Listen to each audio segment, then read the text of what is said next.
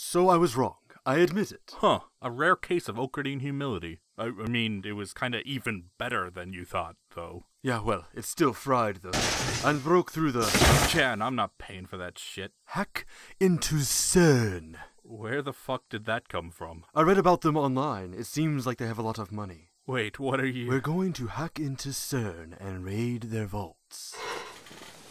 We're going to hack into the European Organization for Nuclear Research, the world's largest particle physics lab, for a few dozen dollars to replace some equipment and buy Mayushii some more chicken.